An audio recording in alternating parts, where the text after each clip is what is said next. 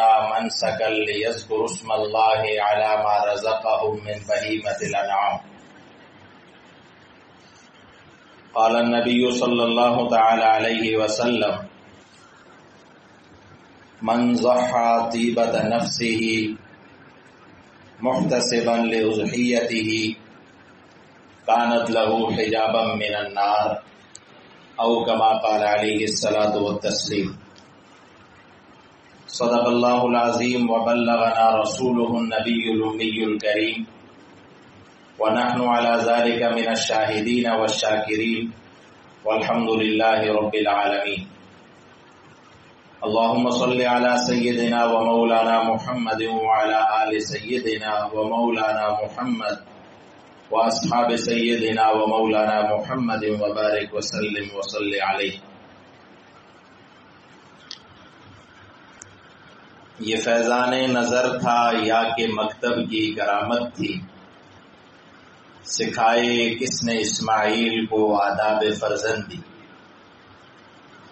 वाजिबुल एहतराम मुआज़ सामीन हमारे आज के ईद उल अजहा के खुतबा का उनवान फलसफा कुर्बानी के उनवान से है।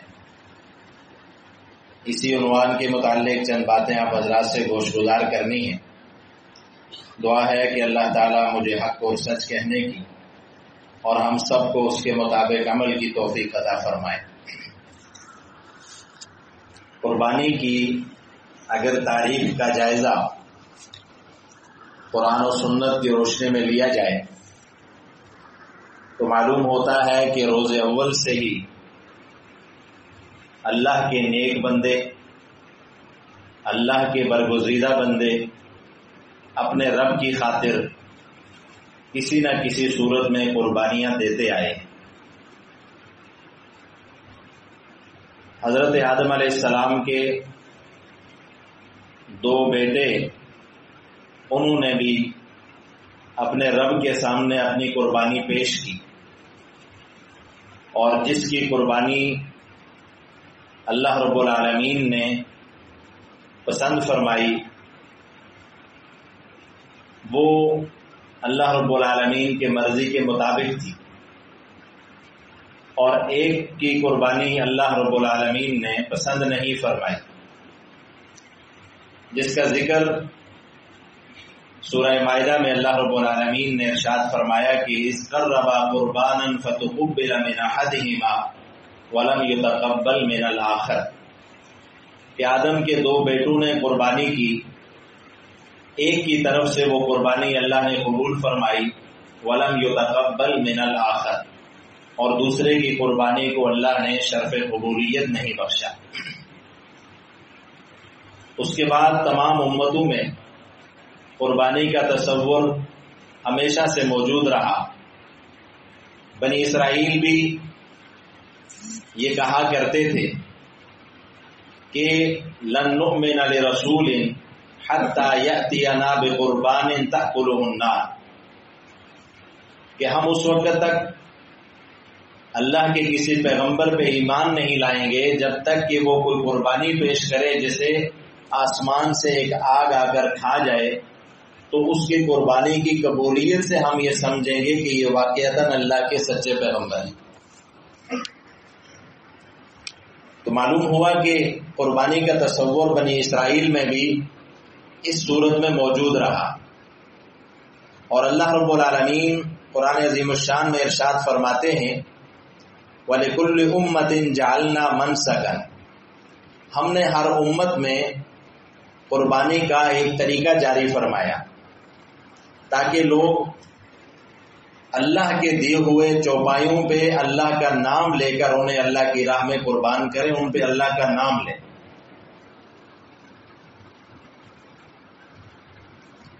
इसी तरह हज़रत इब्राहिम सलाम की बहुत सारी ऐलानात में, बहुत सारी खूबियों में ये बात भी अल्लाह रब्बुल आलमीन ने ज़िक्र फरमाई कि हज़रत इब्राहिम ने ऐलान किया इन न सलाती व नुसुकी व महयाया व ममाती लिल्लाहि कि बेशक मेरी नमाज़, मेरी कुर्बानी, मेरा जीना और मेरा मरना ये अल्लाह के लिए है। यहाँ लफ्ज नुसुक का जो लफ्ज आया, इससे मुराद कुर्बानी है। और इमाम अबू बकर जसास रहमल्ला फरमाते हैं, व नुसुकी अलउजहियत नुसुकी से मुराद कुर्बानी है लिया तो सम्मा नुसुकन, उसी को नुसुक कहते हैं। व कजाले का कुल्लु जबीहतिन, जुबेहा अला वजह कराबत ताला, फहिया नुसुक। आप कुर्बानी की तारीफ़ ये फरमाते हैं कि हर वो जबीहा जिसे अल्लाह ताला का कुर्ब हासिल करने के लिए जबा किया जाए, उसे नुसुक कहते हैं, कुर्बानी कहते हैं। तो इस डेफिनेशन से ये बात समझ आती है कि कुर्बानी नाम किसी चीज़ को जबा करने का, किसी जानवर को जबा करने का है। और सिर्फ़ सदका करना या कोई चीज़ अल्लाह की राह में किसी गरीब को दे देना, ये कुर्बानी नहीं है। कुर्बानी नाम है किसी जानवर को अल्लाह की राह में अल्लाह का कुर्ब हासिल करने के लिए जबा करना। इस बात की हमें एक और हदीस से भी समझ आती है कि नबी करीम सल्लल्लाहु अलैहि वसल्लम ने जो ये बात इरशाद फरमाई कि ईद उल अजहा के दिन अल्लाह ताला के यहाँ सबसे जो बेहतरीन अमल है, वो एहराकुद्दम है, खून बहाना है। तो मालूम हुआ कि कुर्बानी जिस चीज़ का नाम है, वो खून बहाने से ही अदा होती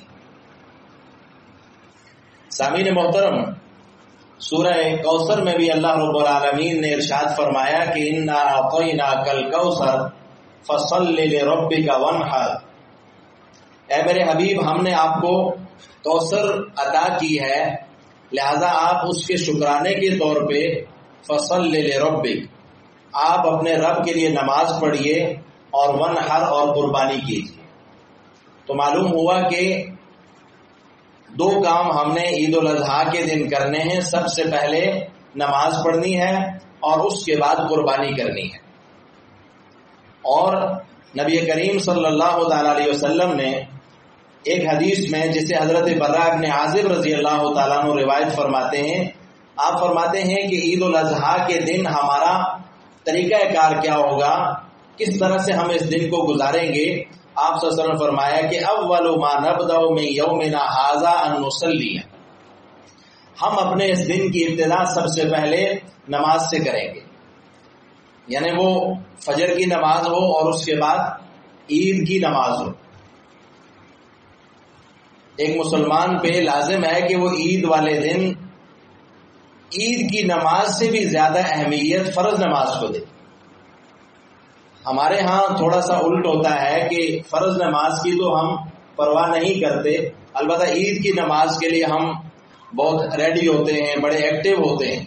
हालाँकि फ़र्ज़ नमाज़ के लिए एक्टिव होना ये सिर्फ़ ईद के दिन नहीं है, ये ज़िंदगी के तमाम लम्हात में ज़रूरी है तो उसके लिए ज़्यादा फ़िक्र करना। तो आप सुसम फरमाते हैं कि सबसे पहले तो हम नमाज़ पढ़ेंगे, सुम्मा नरजो फनन हारो फिर हम घरों को वापस लौटेंगे और कुर्बानी करेंगे। तो फरमाया कि जिसने ये तरीका अपनाया फकत असाब सुन्नतना। तो उसने हमारी सुन्नत को पा लिया। सामीर मोहतरम, इसी तरह नबी करीम सल्लल्लाहु अलैहि वसल्लम ने इरशाद फरमाया कि जो कुर्बानी है, फरमाया कि ये इसे खुशी से करो। मन जहा तीबत नफ्स ही मुफ़्त से बन लोजियत जिस बंदे ने खुशी के साथ और सवाब की नीयत से कुर्बानी की, कानत लहू हिजाब मिनन्नार ये कुर्बानी कल क्यामत के दिन उसके लिए जहन्नुम से बचाव का बायस बनेगी। और एक हदीस में आप सल्लल्लाहु अलैहि वसल्लम से जब ये पूछा गया कि ये कुर्बानी क्या है तो आप सल्लल्लाहु अलैहि वसल्लम ने फरमाया कि ये तुम्हारे बाप इब्राहिम सलाम की सुन्नत है। साहबा किराम ने पूछा फमाल अनाफी हा या रसूल अल्लाह अल्लाह के नबी, हमारे लिए इसमें क्या फ़ायदा है? तो आप सल्लल्लाहु अलैहि वसल्लम ने फरमाया, बिकुल शारतिन हसना, हर बाल के बदले में तुम्हें नेकी मिलेगी। तो साहबा ने पूछा फसूफ या रसूल अल्लाह एक ऊन वाला जानवर होता है और ऊन तो बेशुमार होती है एक जानवर पे। तो क्या ऊन के हर बाल के बदले में भी नेकी होगी?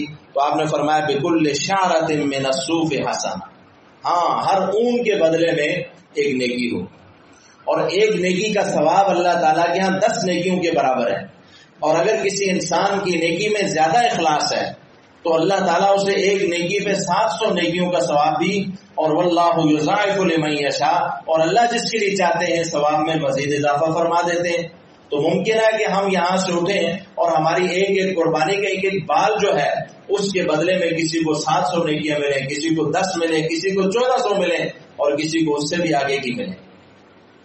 ये इखलास के बकदर है। सामीन मोहतरम, एक और हदीस में आप सल्लल्लाहु अलैहि वसल्लम ने इरशाद फरमाया कि जो कुर्बानी का जानवर है, फरमाया, इसे मामूली ना समझो।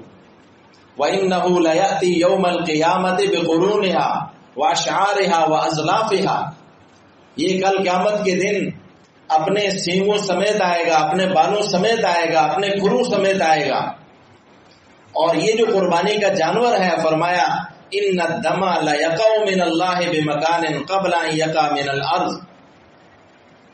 खून इस जानवर का ज़मीन पे गिरने से पहले पहले अल्लाह ताला के यहाँ कबूलियत का दर्जा हासिल कर लेता है।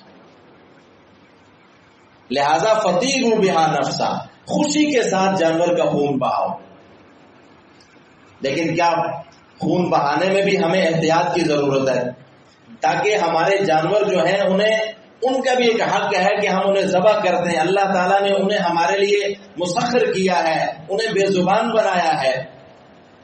तो हमारे ऊपर भी लाजिम है कि हम उनके लिए, उनका ख्याल रखें कि कम से कम उन्हें तकलीफ़ पहुँचे। और इस हवाले से भी आप सल्लल्लाहु अलैहि वसल्लम की जो हिदायत और तालीमत हैं, ये सही रिवायत है और इमाम नबी ने भी अपने अरबईन में से नकल फरमाया।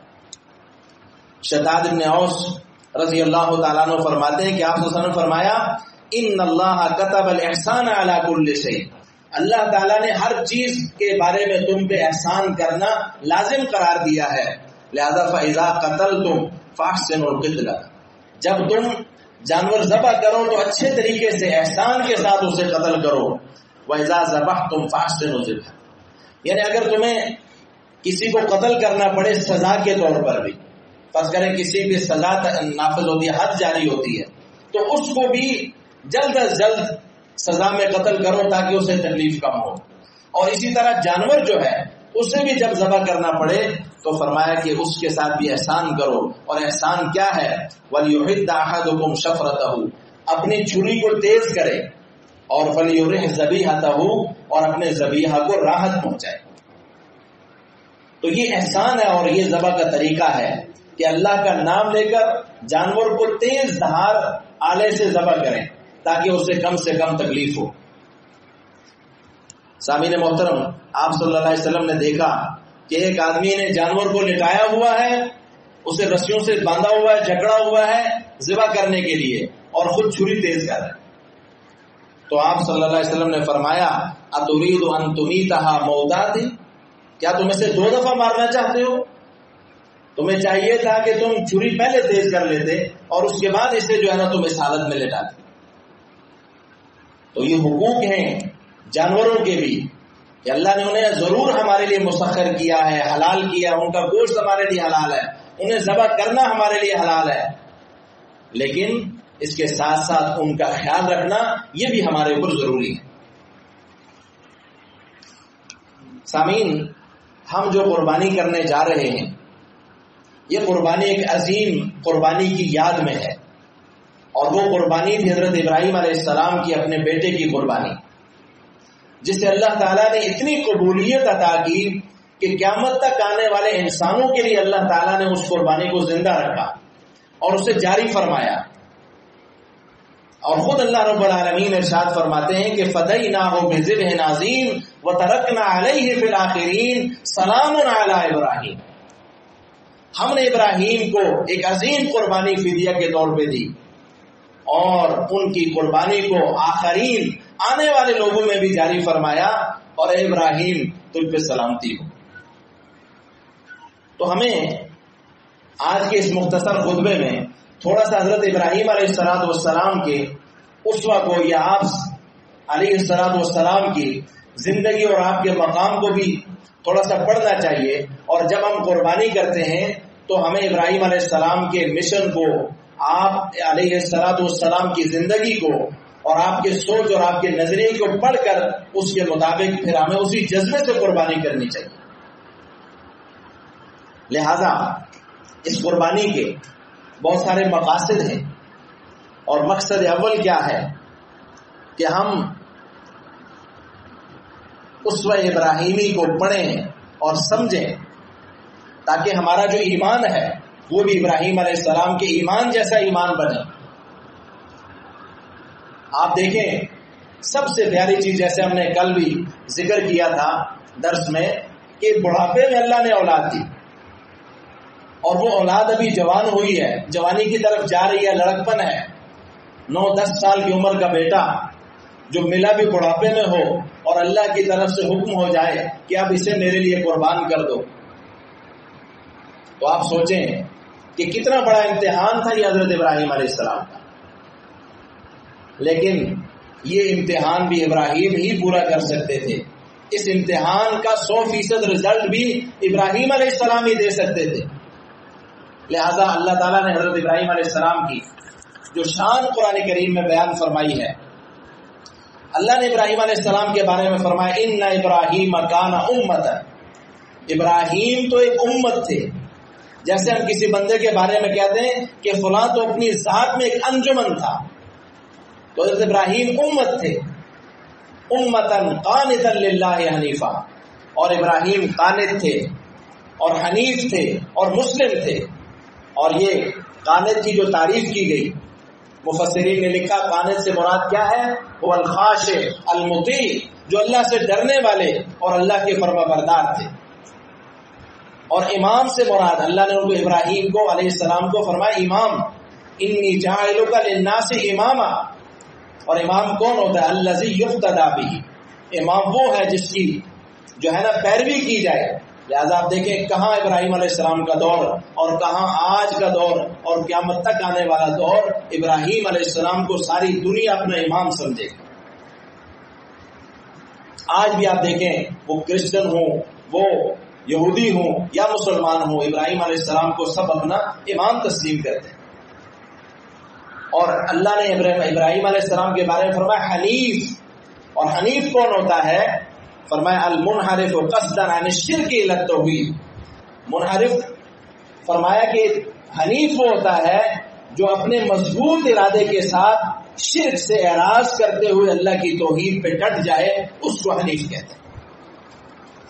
और इसके साथ साथ अल्लाह ने इब्राहिम सलाम के मजीद और साफ़ बयान फरमाए कुरान करीम में। अल्लाह फरमाते, शाह के में, इब्राहिम कौन थे? अल्लाह की नेमतों के शुक्रगुजार।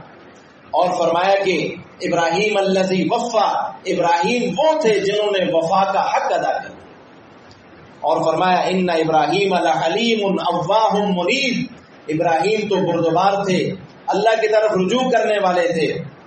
और सखावत हज़रत इब्राहिम की आप देखें, अल्लाह फरमाते हैं कि जब उनके पास फरिश्ते हाजिर हुए, कुछ मेहमान आए तो बगैर थोड़ी देर ठहरे हुए आपने फ़ौरन जाके एक बकरा उनके लिए जबा किया और मेहमान नवाजी के लिए उनके आगे पेश किया। तो इब्राहिम सलाम ये साफ़ अल्लाह ने कुरान में बयान फरमाए इस मुख्तसर नशस्त में इनकी डिटेल बयान करना मुमकिन है, लेकिन हम कुर्बानी करने जा रहे हैं। हमें इस हवाले से मकासद कुर्बानी जो है, उनको समझना और उनको पेश नज़र रखना ज़रूरी है। एक तो ये है, जिसको हमने बयान किया कि उस इब्राहिमी की याद ताज़ा करना और उसके साथ अल्लाह की रजा का हसूल जो सबसे बुनियादी मकसद है। अगर हमारे इतने अखराज के बाद भी अगर अल्लाह हमसे राज़ी नहीं होता और हमारी कुर्बानी रियाकारी के बिना पे या किसी और वजह से कबूल नहीं होती तो फिर हमारा फ़ायदा क्या? इसलिए मुसलमान को इसकी ज़्यादा फ़िक्र करनी है कि अल्लाह की रजा उसे हासिल हो। नमूद नुमाइश और जो पिक्चर सेशन हम करते हैं, ये सब चीज़ें बात की हैं। सबसे बुनियादी चीज़ यह है कि हमारे इस अमल से हमें रब की रजा हासिल हो जाए। और ईसार और कुर्बानी का जो जज्बा है, वो हमारे दिलों में बेदार हो। जो इब्राहिम का जज्बा था, जो अल्लाह के नबी सल्लल्लाहु अलैहि वसल्लम का जज्बा था कि आपने हजरतुल के मौका पे साठ ऊँट रसूलुल्लाह वसल्लम ने खुद अपने हाथ से जमा फरमाया। ये इतना बड़ा जज्बा था। और इसके साथ इस कुर्बानी का एक बड़ा अजीम मकसद क्या है? जैसे अल्लाह ने इब्राहिम सलाम के बारे में फरमाया कि शाकिर अल्लाह। तो हदिया तशक्र बजा लाना। अल्लाह ताला के दिए हुए माल को अल्लाह की राह में खर्च करके अल्लाह के शुक्रगुजार बंदों में अपने आप को शामिल करना। कि अल्लाह तेरा दिया हुआ माल है, हमारा कुछ नहीं है। ये हम तेरी रजा के लिए खर्च कर रहे हैं और तेरा शुक्र बजा ला रहे हैं। सामीन मोहतरम, नबी करीम सल्लल्लाहु अलैहि वसल्लम ने सैदा फातिमा जहरा रज़ी अल्लाह तला से जब कुर्बानी जबा होने लगी तो उनसे फरमाया, क्या फातिमा ऊमी इलाउजी अपनी कुर्बानी के पास जाके खड़ी हो जाओ और फशाती वहाँ मौजूद रहो। फ़ैन न लगे बेअल कतरतिन तक मिन दमिहा युगफर लगे मासरा।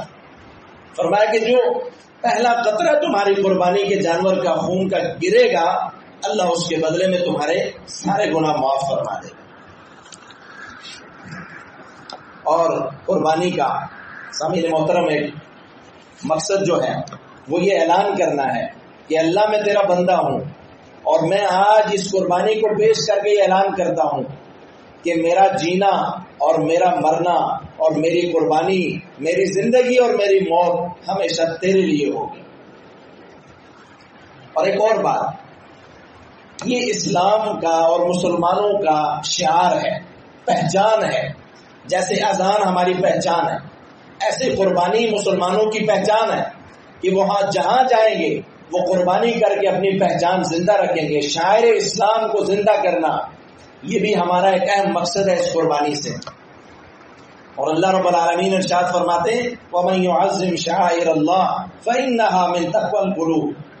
जो लोग अल्लाह के शायर को ताजीम देते हैं, ये उनके दिलों के मुत्तकी होने की अलामत है। तो शायर इस्लाम को ज़िंदा करना। और एक इससे भी बढ़कर एक मकसद क्या है कि वो शैतान से बगावत करना। जैसे हज़रत इब्राहिम सलाम ने, आप देखें कि 21 कंकर मारे और शैतान को भगाया और उसकी बगावत की और अल्लाह के हुक्म को पूरा किया। आज मैं और आप जहाँ जानवर की कुर्बानी करते हैं, वहाँ हमारे को लाजिम है कि हम उन ख्वाहिशात की भी कुर्बानी दें। ख्वाहिशात की कुर्बानी जब तक हम नहीं देंगे तो इस कुर्बानी का असल मकसद और फलसफा वो हम नहीं समझ सकेंगे। इसलिए, सामीन मोहतरम, किसी ने बड़ा खूब लिखा ये जो कुर्बानी हज़रत इब्राहिम सलाम ने पेश की, ये क्या थी? ये महज खून और गोश्त की कुर्बानी नहीं थी, बल्कि रूह और दिल की कुर्बानी थी। ये मासिवा अल्लाह के और गैर की मोहब्बत की कुर्बानी थी। खुदा की राह में ये अपनी अज़ीज़ तरीन मता को खुदा के सामने पेश करने की नज़र थी ये खुदा की इतात अबूदियत और कामिल बंदगी का बेमिसाल मंजर था। ये तस्लीम और रजा, सब्र शुक्र का वो इम्तिहान था, जिसे पूरा किए बगैर दुनिया की पेशवाई और आखिरत की नेकी नहीं मिल सकती। बाप का अपने इकलौते बेटे के खून ही से ज़मीन को रंगीन करना नहीं था। बल्कि खुदा के सामने अपने जज्बात, ख्वाहिशों, तमन्नाओं और आरजुओं की कुर्बानी थी। कितनी उम्मीदें वाबस्ता की होती हैं अपने बच्चों के साथ एक आदमी ने। हज़रत इब्राहिम ने भी वाबस्ता की हुई थी। लेकिन जब अल्लाह का हुक्म आया तो अपनी आरज़ू और अपनी तमन्नाओं को कुर्बान करने के लिए तैयार हो गए। खुदा के हुक्म के सामने हर किस्म के इरादे और और मर्ज़ी को मालूम कर देना जानवर की जाहरी कुर्बानी, उसके अंदरूनी नक्श का जाहरी अक्स और इसमें खुर्शीद हकीकत का ज़िले मजाज था तो हम अपनी ख्वाहिशात की कुर्बानी दें, रस्म रिवाज की कुर्बानी खुद गर्जी बुखल, रियाकारी, हरामखोरी, बेहयाई और बेपर्दगी पर भी हमें छुरी चलानी होगी। उनकी भी हमें कुर्बानी देनी होगी, उनसे भी हमें बचना होगा, उनसे भी दूर रहना होगा। जो कुर्बानी का असल मकसद है और सामीन मोहतरम, हज़रत हाजरा का किरदार भी इसमें मुस्लिम खातन के लिए बड़ा अहम रोल रखता है, अहम उसवा है कि अपने बेटे को कुर्बान करने के लिए माँ भी खामोश हैं और वो इसी जज्बे के साथ कि अगर अल्लाह मुझे ये हुक्म देता, मैं भी इसमें आगे हूँ। तो अल्लाह ताला हमें उस इब्राहिमी को और उस नबवी को समझ कर इन तमाम मकासद को पेश नज़र रखते हुए अल्लाह हमें कुर्बानी करने की तोफीक दे और अल्लाह ताला हमारी कुर्बानियों को जो कर रहे हैं, अल्लाह उनकी कुर्बानियों को कबूल फरमाए। और जो करना चाहते थे इस्तात नहीं है। अल्लाह उन्हें भी साहिब इस्तात बनाए और अल्लाह उन्हें भी कुर्बानियों की तोफीक अता फरमाए। तो मालना मुबीन।